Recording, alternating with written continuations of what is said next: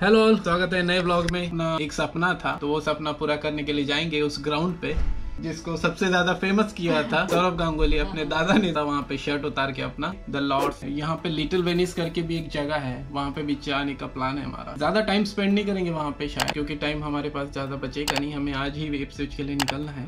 This is the plan है. Tube कैसी खचाखच भरी है नहीं? बहुत ही खचाखच भरा है सब नहीं देखा मैंने। यहाँ के एस्केलेटर बहुत ही अच्छे हैं। साइड में बहुत ही अच्छे घर है ये। बहुत अच्छा लग रहा है। बहुत ही अमीरों का एरिया लग रहा है ये भी। यहाँ से हमें पाँच मिनट तो लगने ही चाहिए। हमारी टूर स्टार्ट होगी दो बजे एंड हमारे पास पाँच ही मिनट है। तो वहाँ हमें फटाफट पहुँचना है। तेज़ी से चलना है। तेज़ी दिखाओ comrade look right look left look left खड़े हैं। चलो। इस बिल्डिंग को देख के ना मुझे अपरिचित मूवी की याद आ गई। ऐसे स्टेप से वो कूदता है। इधर है लॉर्ड्स क्रिकेट ग्राउंड ये तो खुला नहीं लग रहा है। चलो अभी आगे देखो ना कितना। अच्छा वहाँ से। बाप रे बाप क्या लग रहा है ये? सब बंद है। ग्राउंड क्या बंद है क्या अभी?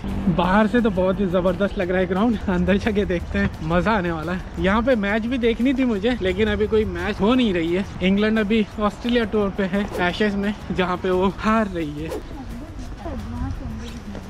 है। चलो चलो जल्दी जल्दी जल्दी। ये तो प्राइवेट रोड है। है। हाँ। नहीं नहीं नहीं स्टेडियम यहाँ पे है ही नहीं।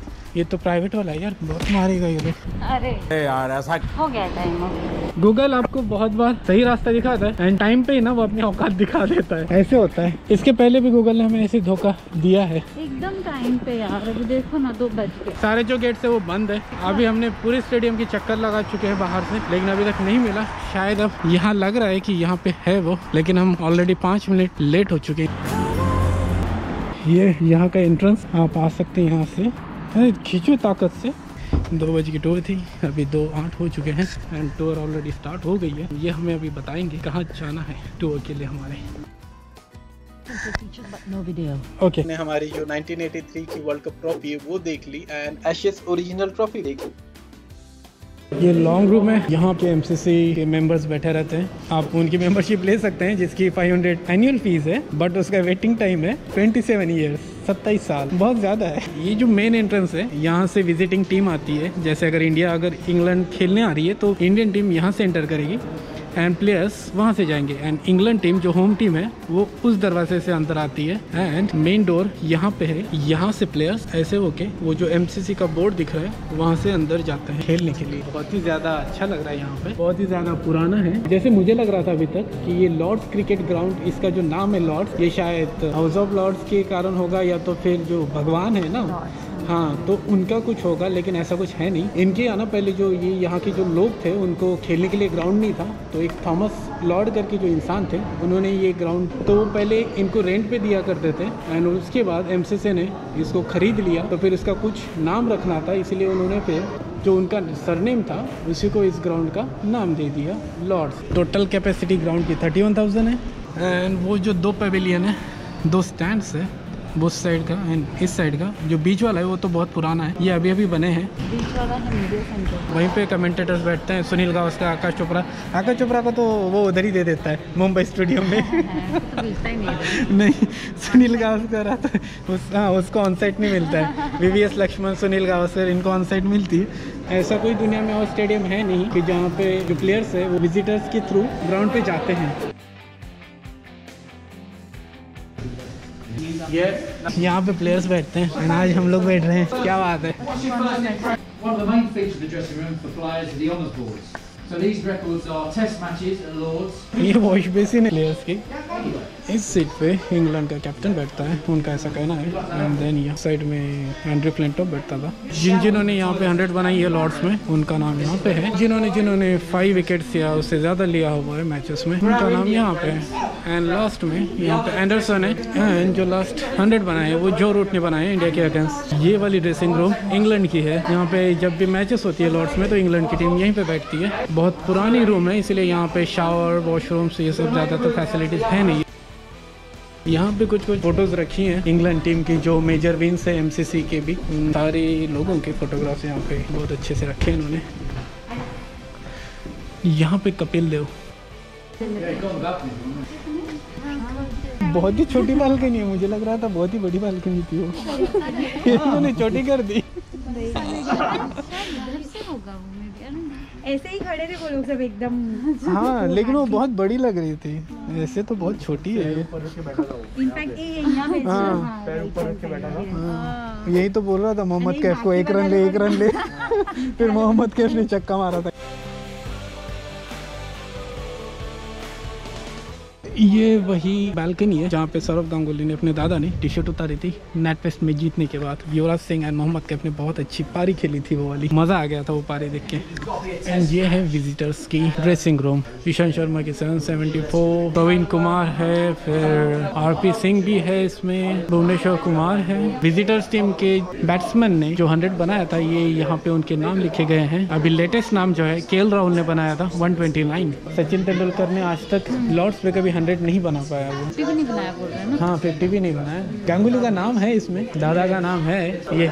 131 बनाए थे गांगुली ने 1996 में लेकिन उसके बाद 100 नहीं बना पाए वो कभी भी। अजीत आगरकर का नाम है। 2002 में 109 हाईएस्ट स्कोर यहाँ पे शायद ग्राम स्मिथ का ये 259 राहुल द्रविड़ का जो लास्ट टूर था मतलब इंग्लैंड का तो उनको पता था कि यहाँ पे अभी तक 100 नहीं बनाई है एंड यहाँ पे उनका नाम नहीं इस बोर्ड पे। तो उन्होंने यहाँ के अटेंडेंट से पूछा था कि सबसे लकीस्ट सीट यहाँ की कौन सी है, जो दिलशान ने 100 बनाया था। तो वो तो इस सीट में बैठे थे, उस साइड में। अटेंडेंट ने बोला था कि शायद कि दिलशन ने वहीं पे 100 बनाया था तो आप वहाँ बैठ सकते हैं। एंड राहुल द्रविड़ वहाँ बैठे थे एंड राहुल द्रविड़ ने फिर उस मैच में 100 बना लिया। एंड उनका नाम यहाँ पे आ गया। 2011 में इस साइड में है। राहुल गांगुली ने इस बालकनी को सब राहुल गांगुली? सौरभ गांगुली ने सौरभ गांगुली ने इस बालकनी को सबसे ज़्यादा पॉपुलर किया है। यहाँ पे टी शर्ट उतार के। लेकिन उनको 100 परसेंट मैच भी फाइन हुई थी। Mahela Jayawardene Sangakkara one of my favourite इनसे मोहम्मद हक वो हाँ। और उसके उधर? शिनवॉन एक पुराना वाला स्कोरिंग बोर्ड कहीं तो दिखा था मुझे। हाँ ये एक पुराना स्कोरिंग बोर्ड यहाँ पे है। बहुत अच्छा ग्राउंड लग रहा है। बहुत ही ज़्यादा। वहाँ पे एटी थ्री में कपिल देव को ट्रॉफी हैंड ओवर की थी। वर्ल्ड कप ट्रॉफी जो इंडिया ने फ़र्स्ट टाइम जीते थे 1983 में। एंड इनके अकॉर्डिंग जो देखे हैं हमने वीडियोस भी इंडियंस एंड वेस्ट इंडीज जो उस टाइम थे तो उनके सारे फैंस पिच पे आ गए थे। एंड उसके बाद इंडियंस बदनाम हो चुके हैं यहाँ पे कि आप पिच पे दौड़ जाते हो। इसलिए इंडिया में भी पूरे ग्राउंड में फेंस लगाए जाते हैं कि आप कहीं भी अंदर नहीं जाते हो। ये यहाँ पे एकदम बहुत ही ज़्यादा ईजी है क्रॉस करना ऐसे।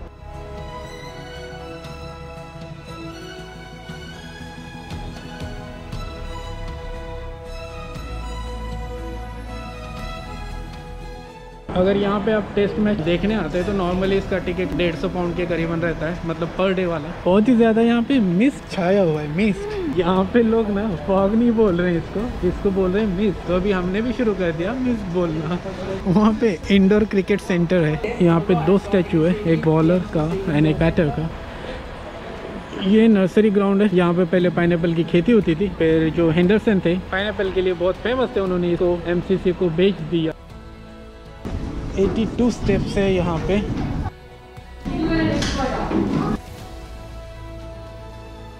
ये पूरा मीडिया सेंटर है। यहाँ पे जर्नलिस्ट बैठते हैं फोटोग्राफर्स बैठते हैं।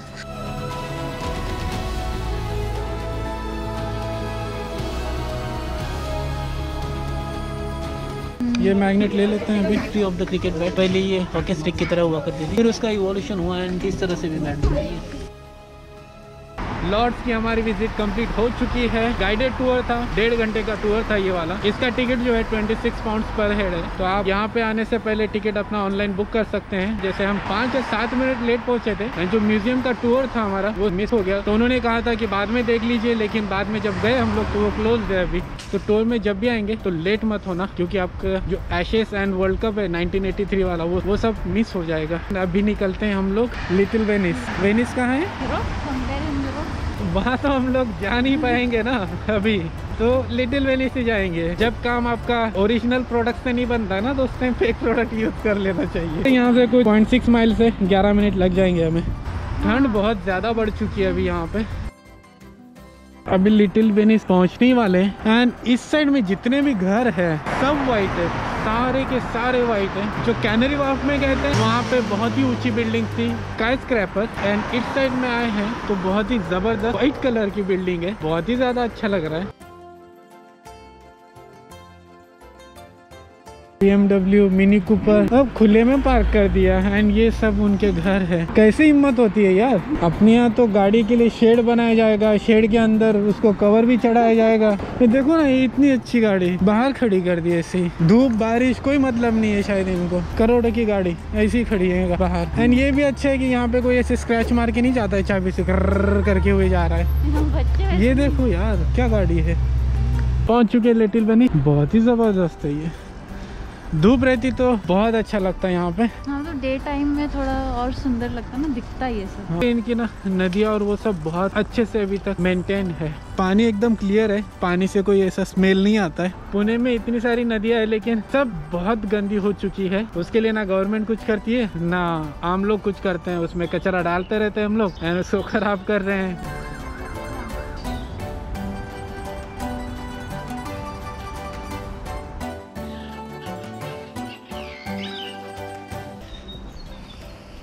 इसी कनाल के साइड में बहुत सारी बोट्स रखी है एंड उन बोट्स में रेस्टोरेंट कैफ़े इन्होंने बनाए हुए हैं एंड उसकी राइड भी होती है इसी कनाल में। अब टाइम चार ही हुआ है विंटर है, इसलिए यहाँ पे अंधेरा हो जाता है सब लोग अपने अपने घर चले जाते हैं बंद करके।